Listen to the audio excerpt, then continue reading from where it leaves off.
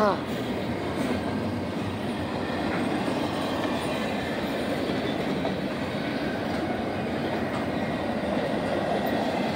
Yikes.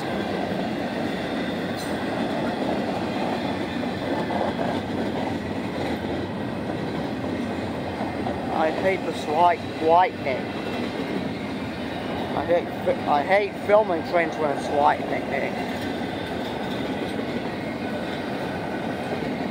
I love trains, but I hate it when it's lightning.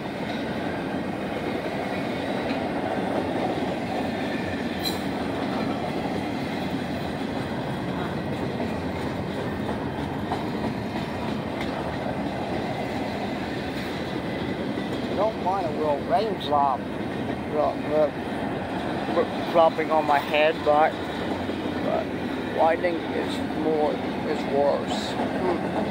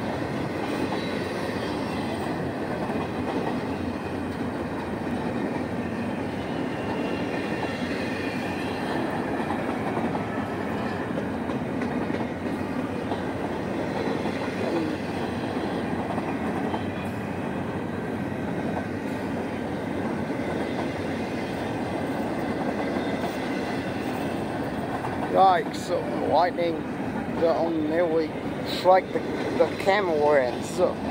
Strike the camera lens.